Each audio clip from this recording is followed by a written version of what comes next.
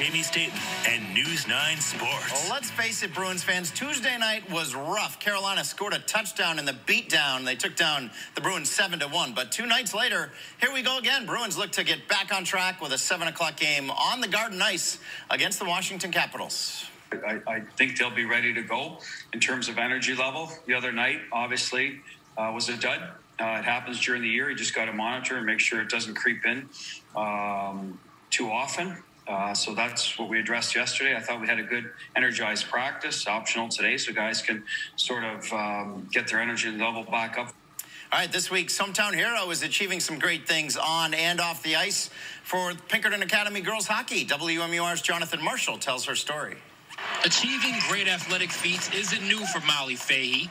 She once stayed in New England Wrestling Championships growing up and played for a local Derry youth football team. I always wanted to keep up with the boys, so I was always playing the boys' sports too. It was always fine. I was always competitive with them, and after a couple of years, I started playing hockey and didn't have time for it anymore. Dedicating time to the ice has proven to be wise for the Pinkerton senior. Fahey has led the Astros in scoring the last three seasons. She also sets the tone in the classroom with a 3.7 GPA. We're a young program. We've only had four years.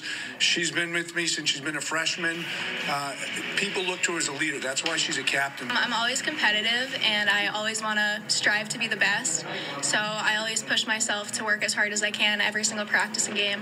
Fahey dedicates time sharing this passion, coaching the next generation of players. She's also kept busy training her three horses, Theo, Kingsley, and Gronk, named after former Patriots tight end Rob Gronkowski. I've been riding horses since I was young, and about five years ago, I got my first horse.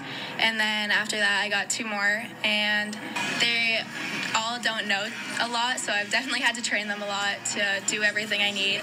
But it's been fun working with them. Before heading south to be a student at Ole Miss, Fahey is looking forward to adding to her legacy at Pinkerton. Our team is definitely starting to come together and work together as a team.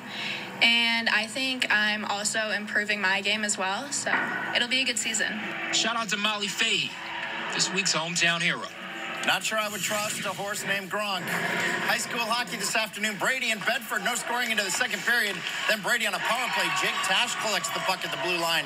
And his wrister found the net. 1 0. The Giants had the lead. Bedford answers with heavy pressure. Luke Moore's initial shot from the point goes wide. Javin Manfield sent it out to the other point, and just off screen, Owen Gupta fired it home.